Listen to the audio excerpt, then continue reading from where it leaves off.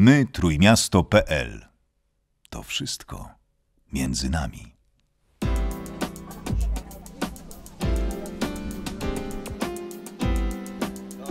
Witamy w programie kulinarnym, w którym będziemy gotować tylko i wyłącznie z produktów zakupionych na targowisku miejskim w Sopocie. Użyjemy jak najprostszych technik kulinarnych i jak, najmniej ilości, jak najmniejszej ilości produktów, żebyście wy mogli zrobić to samo w domu. Idziemy na zakupy. Seasons change, the time change, directions at once.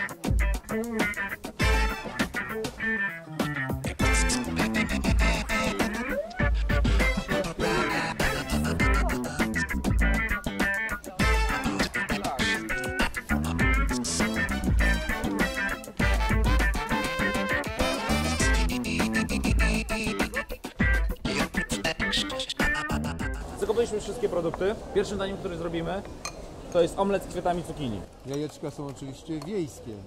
Widać po gabaretach, po kolorze żółtka. Odrobinę soli.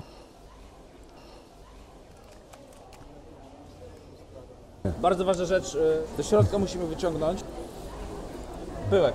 Tak to wygląda. To są dosyć gorzki w smaku.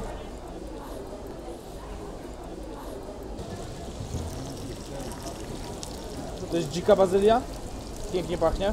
No i pokroimy w duże kawałki, żeby były wyczuwalne mocno w omlecie. Na rozgrzaną patelnię teraz dodajemy jajka, doprawione i pieprzem. I obsypujemy bazylią. Musimy teraz poczekać chwileczkę, aż jajka się zetną. Nie, chciałem to paluchem zrobić.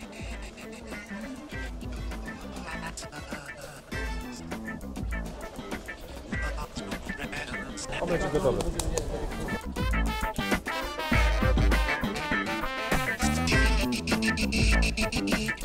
You're shy.